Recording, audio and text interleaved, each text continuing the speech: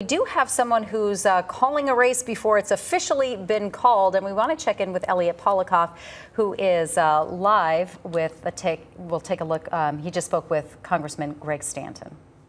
I'm here with Representative Greg Stanton, and Greg, I know you just declared victory here in terms of the count. You're up by over 30,000 votes. I mean, what's your initial reaction to how things went out here tonight?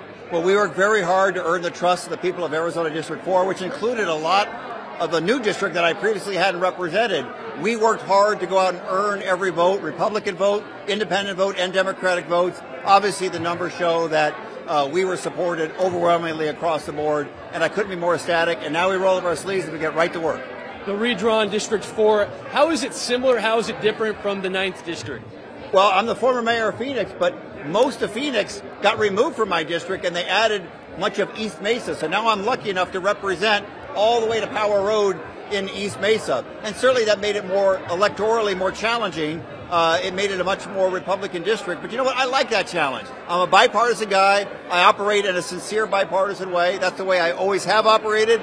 I always will operate. And to see these overwhelming numbers tonight is really gratifying that the, the people of the community saw that and know that I'm going to work for all of them, regardless of political party. I know that it's early in the election results right now. I know you're planning on heading to the headquarters downtown in Phoenix, but what are your thoughts so far on the results you've been keeping an eye on here in our state? Well, it's, it's too early. Look, for most of the other races that, that people are paying the closest attention to, it's too early. There's going to be another uh, uh, release of information in a few minutes, I guess, now, for where, we're doing this uh, interview. So we'll know a lot more. So um, you know, I've got a lot of good friends and people that I respect that are on the ballot, and I'm hoping they do all do very, very well uh, because um, they're good people and they deserve our respect. What was your message to those in attendance here tonight, just moments ago, when you declared victory? Well, look, we know that these are tough times. We know that inflation is really hard on people. Now, my opponent tried to use that as kind of a cudgel, and I responded by saying, I understand. I come from a working class background. My dad sold shoes at J.C. Penney for 35 years. I didn't grow up in a family with a lot of money, so inflation affected our family. The question is, what are you doing about it?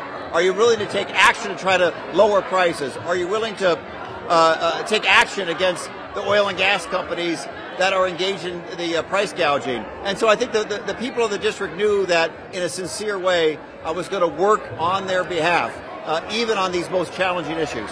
Representative Greg Stanton declaring victory over Kelly Cooper, up over 30,000 votes. Of course, we will keep you updated throughout the night on all the big elections going on across the state. For now, I'll send it back to you guys. All right, Elliot, thanks so much. So to be clear, we're not declaring this race just yet, but Congressman Stanton feels that this lead here, 63 to 37 percent over Kelly Cooper, is enough for him to feel comfortable to say that he believes he did win this race. Though Dennis, uh, he, you know, won a couple races in Phoenix. That was pretty easy. Then they redrew the boundaries. He's in District 4, which leans not quite so progressive, right? No, no, it's a little bit of a less, it's less progressive of a district, uh, you know, and it encompasses a lot of Tempe. He's, remember, remember, he, you know, he was really well known in Phoenix. Um, they thought maybe this might be a little bit of a, a vulnerability here yeah. for mm-hmm. Stanton running this year, but clearly he's taking care of business tonight with Kelly Cooper. Again, not our job to be calling the elections. Yep. We're not calling this election. Greg Stanton's not waiting. He wants to probably go home and get a good night's sleep. But I think with this kind of a lead, he can sleep pretty well, knowing um, that you know he's on his way to a good outcome and one that he wants. And Kelly Cooper.